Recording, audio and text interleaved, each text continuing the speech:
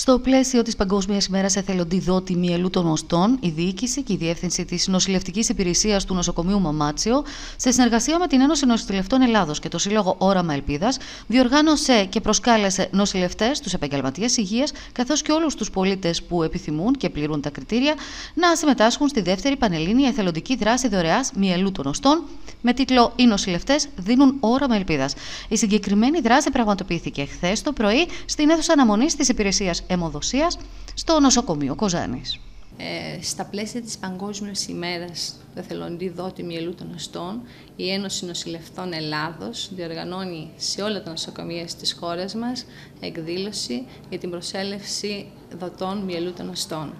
Ο μυελός των οστών είναι ρευστός ιστός και περιέχει τις πρόδρομε μορφές των μυπητικών κυτάρων, ερυθρά, λευκά, αιμοπετάλια. Σε κάποιους ασθενείς, ο μυελός των οστών ανεπαρκεί ή έχει διδυθεί από κακοήθη κύτταρα. Σε αυτούς τους ασθενείς επιχειρούνται πολλά φαρμακευτικά σχήματα, αλλά πολλές φορές η μόνη θεραπευτική αντιμετώπιση είναι η μεταμόσχευση. Ένας στους τρεις ασθενείς θα βρει μόσχευμα μέσα στην οικογένειά του. Οι υπόλοιποι θα πρέπει να αναζητήσουν μόσχευμα στην παγκόσμια δεξαμενή.